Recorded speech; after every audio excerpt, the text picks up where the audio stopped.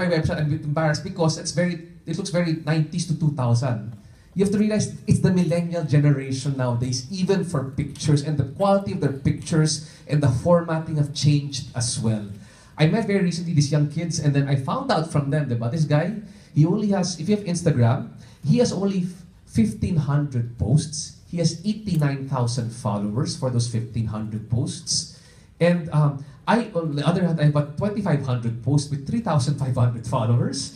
So I was wondering, how does this guy do it? Because basically, he's selling pretty picture. He's got really great pictures online, and people pay him to put to to do product placements on his site for a very beautiful looking picture.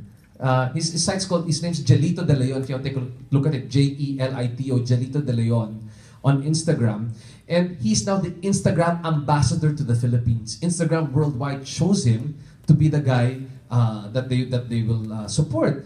And why, why am I saying these things? It's because basically what's going to be driving right now more people towards direct selling, uh, or or when you take your when you have digitally reimagined direct selling, it's content that will drive people to your site, di ba? You can keep on buying ads online to keep on increasing your ranking, di ba? People will go to you because you've got a great product, but you've got to tell great stories online.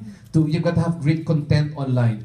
Are you doing a YouTube channel right now online of the using your products, di ba? That's a great thing because when people search uh, online later on in the future, they might go, okay, I'm looking for I'm looking for an Amway distributor in the not just the Cavite area, but where in Cavite, di ba?